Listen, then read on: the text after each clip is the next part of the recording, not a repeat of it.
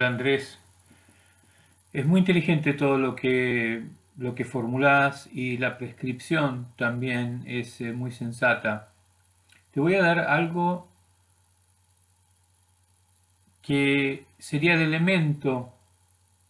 que no, no falta nada más que a, a tu lógica, sino que es un elemento que falta, ha siempre faltado, nunca hemos tenido conciencia de ello como civilización. Y es el elemento de mm, la capacidad humana como elemento destacado, discernible, a la inteligencia de nuestra naturaleza humana, que es la que termina, la que prevalece en dirigirnos, en,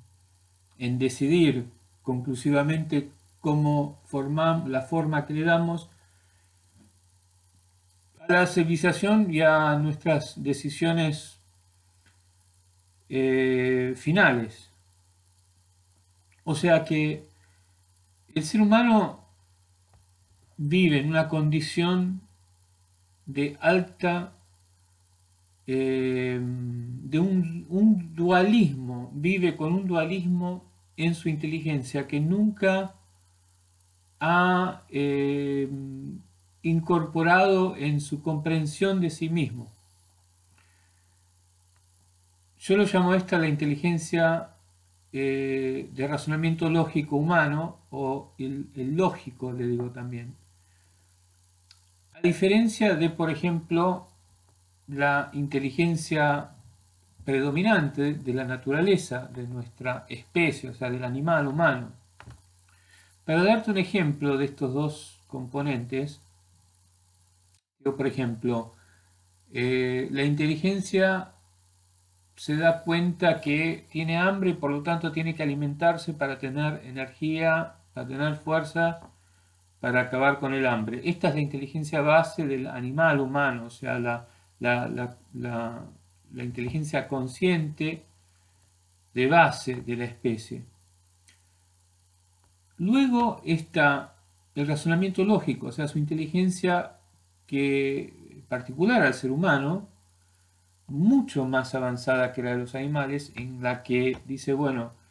eh, cree una trampera para que el pajarito vaya y eh,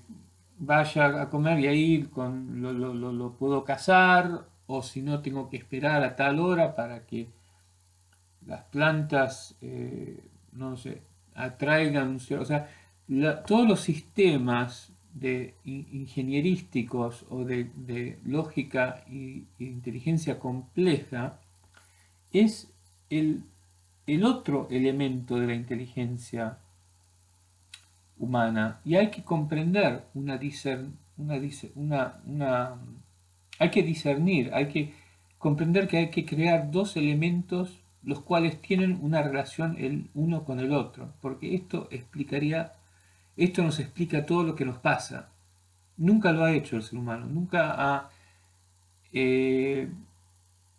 comparado, por ejemplo, su sentido de inteligencia, de inteligencia, por ejemplo, de que dos hermanos en la familia se pelearon y que no, y que es importante que no se peleen y que la familia esté unida. Como elemento separado a la otra inteligencia que por ahí considera eh, enseñanzas sociales, que cada persona es su propio individuo, filosofías, eh, conocimientos de psicología, eh, que dice, no, pero es importante que él descubra que se vaya, que descubra el mundo, que se dé cuenta que, que aprecie lo que perdió, o, justificar a un hermano sobre el otro mm, para explicar por qué no, en realidad se merecen, eh, se merece uno de los dos volver a, a reanudar eh, la amistad, o sea, la hermandad. Ese razonamiento proviene de pensamientos más complejos, de ideas sobre filosofía social o de eh, psicología del individuo, lo que fuese. A diferencia de lo que brotó antes como algo sensato e intuitivo, que era simplemente que la pelea se debe acabar y estos dos hermanos se deben hacer amigos. En todo lo que ocurre en la civilización interactúan estos dos niveles. La inteligencia, la totalidad del, pensar humano está hecho por una altísima capacidad de lógica y razonamiento inteligente y una inteligencia que simplemente está con los pies sobre la tierra, o sea que es parte de su naturaleza sensata, lógica, sensible, sí, sensata, bueno. Este, esto es importantísimo, es, una, es, es como algo que cuando lo comprendemos nos damos cuenta de tantas cosas, nos empieza a cerrar. ¿Por qué, por ejemplo, los inventos en las ciencias terminan fallándonos, o sea, inventamos química que después termina intoxicándonos, o, o hacemos inventos que después resultan, nos dañan, o creemos idealismos o ideas sociológicas o de psicología que luego nos damos cuenta son equivocadas, no son acertadas en cuanto a la forma natural del ser humano. O sea, esto se sabe, o sea, una de las cosas que se dice en las ciencias es que las, ciencias, siempre lo, seguro y con lo que podemos contar las ciencias es que van a errar. ¿Y por qué? Porque tarde o temprano. Porque la ciencia, la, nuestra inteligencia lógica es como algo que fue agregado al ser humano. Si nosotros nos comparamos con los demás, inclusive con los demás animales, los más inteligentes, vemos que hay muy poca o casi no existente separación o distancia entre estas dos inteligencias. O sea, por ejemplo, el mono puede, o un pájaro, puede crear un instrumento, pero son muy primitivos, no los guardan, no los cuidan, lo usan, lo tiran eh, para sacar la comida o para pegarle a otro mono y no es algo que le interese conservar. Es una distancia eh, predominantemente viven en su naturaleza de base. Este, vemos que los animales no matan a sus crías de la manera que lo hace el ser humano. El ser humano, eh, de una manera horrorizante, destruye, daña, mata a sus propias crías en guerras, en continuar a comer algo que nos hace mal, en eh, someter a niños al cuidado de organizaciones o de instituciones que se supone que los educan y resulta que durante ese periodo le, pasan las, peores cosas y luego los convertimos en temas de, peleas en las legalidades y en los sistemas de, civil. O sea, tenemos tantos problemas que son causados, daños que son eh, con los cuales venimos afligidos, que son causados por esta inteligencia lógica que inventa, que crea, que, llega a, que quiere llegar a otros planetas, que descubre la biología en otros mundos. Eh, esta gran diferencia que tenemos eh, con los animales parece indicar que fue intencional, porque no es que los demás animales tienen distintas distancias, o no tienen distancia y, son, viven en el momento, no tienen inteligencia lógica, o eh, que planean, que se, que se auto este, perciben, eh, o tienen muy poquita que no dura, como los animalitos que inventan un instrumento para el momento, eh, a comparación del ser humano que tiene una, o sea, es una otra existencia de autopercepción, de inventividad, de, comprensión, eh, o sea, que busca comprender la conciencia de otras formas de vida, o sea, es una distancia inmensa. Y están, esto parece indicar de que es intencional, que hemos en efecto sido creados eh, para existir en un mundo donde, como dicen las escrituras, dominamos eh, el creado. Pero bueno, ese es todo otro tema a lo que, lo que quiero, eh, a lo que voy es, es, que se, es que se comprenda que hay una relación entre la inteligencia de base, la inteligencia sensata, intuitiva, normal de este animal que es el ser humano, esa inteligencia a comparación con la inteligencia de vanguardia, esa que termina liderando con sus más grandes ambiciones eh, de inteligencia. Hay una relación entre esos dos extremos. Y esa relación nunca ha sido considerada en la historia de la humanidad, pero si la consideramos y volvemos a pensar en lo que acabas de escribir, vas a ver que se empiezan a entender muchas cosas, porque en efecto es el porqué de los errores. En vez de hablar eh, monoideamente, o sea, solo de la condición de la inteligencia humana y lo que debemos hacer para tratar de solucionar estos problemas que identificamos, estaríamos hablando de lo que nos causa esa relación entre las dos inteligencias y que por lo tanto la solución y la prescripción, así como la comprensión de los errores, tiene que ver con esa relación, o sea, qué es lo que nos encontramos. Una inteligencia se encuentra con que ha creado la otra inteligencia. ¿Entendés? Hay una situación de, de, comunicación, de relación, de, efecto, de consecuencia, de causa y consecuencia. Todo una dimensión que se aplicaría a la comprensión de nuestro estado existencial como ser humano que antes nunca hemos tenido. Y por eso nunca podíamos movernos, cambiar, no terminamos de... Nunca acabamos con nuestros problemas creamos legalidades y distintos sistemas civiles y, que si no es castigo, que si no es una administración de gobierno, pero que el mundo sigue teniendo todos los mismos problemas. Desaventajados, pobres, criminales, asesinos, guerras, todas las, todas las cosas que, que quisiéramos dejar en el pasado, no las dejamos en el pasado, a pesar de que nuestro mundo parece evolucionar y cambiar porque nunca hemos comprendido que somos víctimas a esta relación. El momento que comprendemos que, eh, que hay resultantes, que hay consecuencias a las cuales reaccionamos a causa de esta relación entre esta polaridad, o sea, esta relación entre dos tipos de inteligencia, de repente vamos a, es como que nos vamos a ver por primera vez y vamos a entender lo que nos pasa y todo va a cambiar, porque dado que nuestra inteligencia de vanguardia, o sea, esa que inventa y que produce una conciencia mucho más sofisticada, tiende a errar porque no está con los pies sobre la creación inserida en la, en la, conciencia sensata, orgánica de, la, de la espontánea inteligencia, sino que está siempre ahí tratando de inventar algo que es una capacidad que tiene,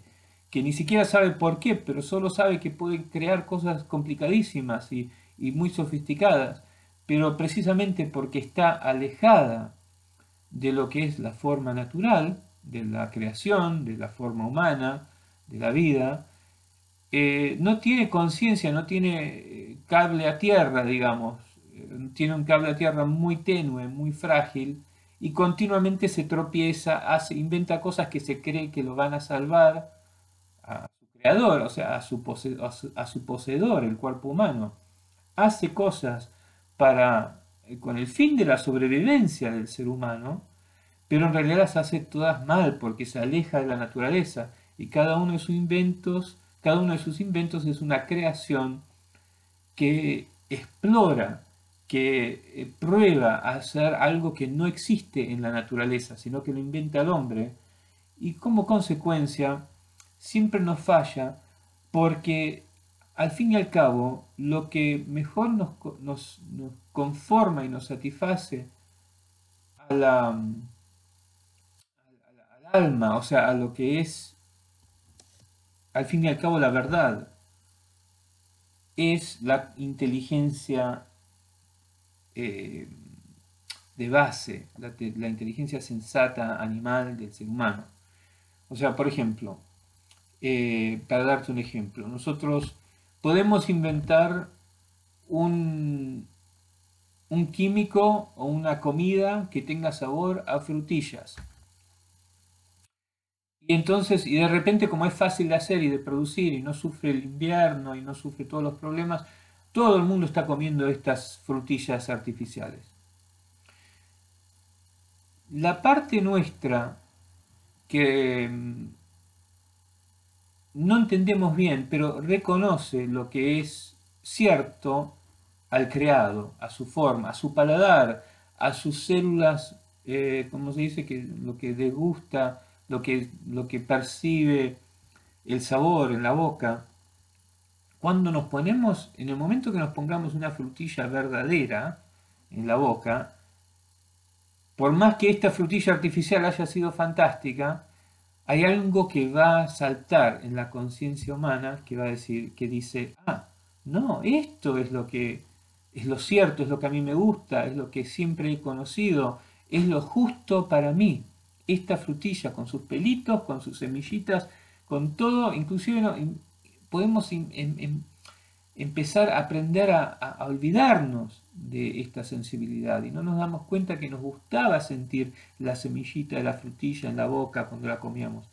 Pero nunca nos podemos despegar del todo. Siempre hay algo que, y en todas las ciencias, esto se aplica. Eh, podemos inventar una máquina, un, automóvil, ir a 90 kilómetros por hora y sentirnos dioses porque podemos pasar por los árboles y viajar de un lado al otro. Pero de repente un día estamos caminando y cuando caminamos escuchamos los pájaros, vemos cómo el pasto se mueve con el, viento y algo de repente nos dice, ah, Así es como yo me debo mover en la tierra, caminando. Para mis piernas existen para eso. Ahora todo tiene sentido. Es fácil olvidarse y nos, ponemos insensibles a esta conciencia, pero nunca desaparece. Y por lo tanto, la inteligencia inventiva, la lógica de vanguardia que inventa, que quiere, por ejemplo, ahora inventamos de que pueden existir cuantos géneros, basta que tomes hormonas y te hagas una operación, un hombre puede ser una mujer. Estas son todas cosas que el ser humano quiere probar e inventar, a ver si puede dominar la naturaleza, puede dominar, su existencia, pero a la larga falla porque no es el creador el ser humano. El creador es la creación, la evolución o Dios, depende de lo que creas. Y esa inteligencia que sale ahí y se va a, un, lugar que desconoce y erra siempre, va a encontrarse con cada vez más cosas que no corroboran, que no completan, que no colaboran con el panorama total de la existencia de la vida en todo el planeta. Entonces, es como que digamos que el hombre pierde tiempo, se va, se va por las nubes y al final se da cuenta que no, ni siquiera tiene una montaña donde está caminando, no sabe cómo está colgado de una nube, todo está mal, nada funciona, pero se olvidó por qué no están funcionando las cosas. Porque la sensibilidad eh, terrenal, digamos, esa inteligencia, esa sabiduría animal, se puede perder de vista, como dije antes nunca desaparece, siempre la llevamos con nosotros. Bueno, esa es, la relación que está, que, que sin darnos cuenta, cuando apareció la, cuando aparecieron las ciencias de la ecología y de lo biológico, lo orgánico y hacer todo según el diseño natural, qué sé yo, que es reciente, de los años 60, no nos damos cuenta que encendimos la luz sobre este espacio que se encuentra, o sea, esta problemática que se desarrolla entre las dos inteligencias, eh, los dos elementos de inteligencia, no sé qué nombre, son, es una polaridad contenida dentro de la inteligencia del ser humano, son dos inteligencias que tienen una relación y que se, tienen una, una causa como una hermana, como dos hermanas que, que son opuestas, o como un hermano y una hermana. Hay un espacio entre medio de un, de un mundo de cosas que suceden a causa de que son distintas por naturaleza. Bueno, esto espero que se haya comprendido. Ahora, volviendo a lo que escribiste, vas a ver que considerando eso, vas a tener una explicación ausente. O sea, que esto le sucede al ser humano, pero no decís por qué, porque nunca ha existido. Esto le sucede al, ser humano a causa de la relación de estas dos inteligencias. De repente te vas a dar cuenta que tu prescripción o tu solución también funciona, también es inteligente, pero ahora tiene a qué dirigirse, qué tratar de reparar, qué tratar de restaurar o de comprender mejor para producir una solución. ¿Ok? Chao.